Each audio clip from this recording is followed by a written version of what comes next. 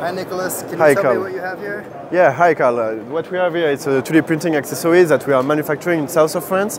Uh, came here, I'm going to show you because you know a 3D printer build a part on the build plate, and once the part is over, you have to remove the remove the thing. We usually use a spatula to scrape under the part.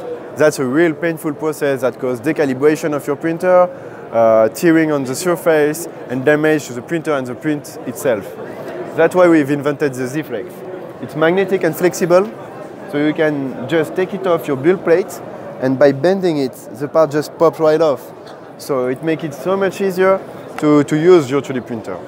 This product is um, compatible with any 3D printer on the market.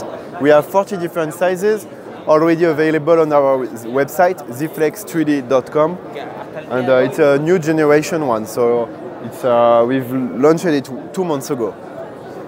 This one has magnets in it. That's the new one. Yeah, that's the new one. There is a very high temperature magnet that can handle 150 degrees heated bed for a long period of time.